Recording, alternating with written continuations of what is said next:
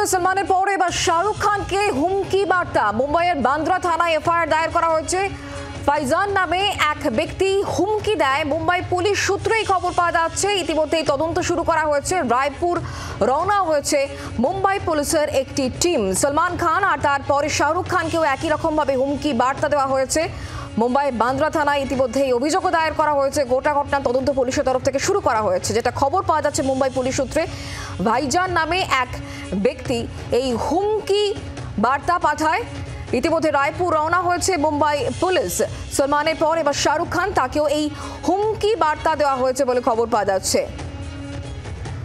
अंकुर त्यागी এই মুহূর্তে আমাদের সঙ্গে রয়েছেন আমাদের প্রতিনিধি টেলিফোন লাইনে अंकुर क्या खबर है पुलिस सूत्रों से हाँ देखिए, फ़िलहाल एक जो टीम है, वो मुंबई पुलिस की टीम इस वक्त रायपुर, छत्तीसगढ़ भी गई हुई है। इन्वेस्टिगेशन किया जा रहा है।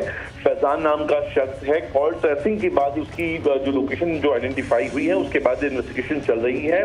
पुलिस उसको अपनी हिरासत में लेकर जल्द ही इन्वेस्टिगेशन यहाँ पे करने वाली है और पुलिस यहाँ पे ये भी आइडेंटिफाई करना चाहती है कि एक मिसचीफ था या एक सीरियस थ्रेट कॉल था।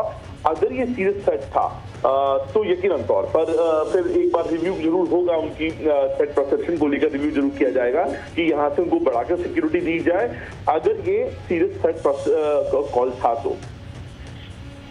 थ्रेट कॉल में क्या बोला गया? देखिए शाहरुख खान है शाहरुख खान से अ, अ, कुछ पैसे हैं वो यहाँ पर मांगे गए हैं और पचास लाख के आसपास के पैसे मांगे गए हैं और कहा नहीं दे दिए जाने पर जान से मार देने की धमकी दी गई थी। जी शुक्रिया जी